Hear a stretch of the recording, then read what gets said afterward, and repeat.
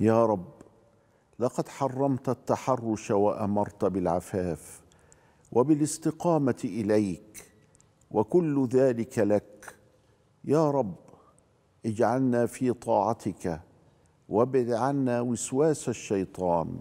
فاللهم يا رب نشفي كل من ابتلي بهذا الذنب وبتلك المصيبة من العدوان والطغيان والاغتصاب والتحرش وسوء الأدب.